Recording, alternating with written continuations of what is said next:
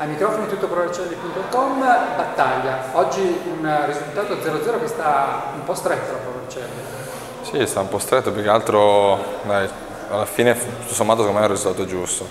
Eh, non so, siamo riusciti a non prendere gol, una cosa facciamo un po' fatica in fase offensiva a farlo, però eh, da guardando i lati positivi dai, siamo riusciti a non prendere gol e sappiamo portare a casa un punto, anche se in casa si spera sempre di vincere una difesa blindata ma non si può dire che Braghini abbia provato un po' di tutto in attacco per cercare di sbloccare la situazione. Sì, beh, ma di soluzioni ne abbiamo, quelle non, non ci mancano, è più una questione globale, non è una questione di singoli o di reparto offensivo, è proprio un concetto di squadra che va migliorato in modo da portare i giocatori più offensivi a, a rendersi più, più pericolosi.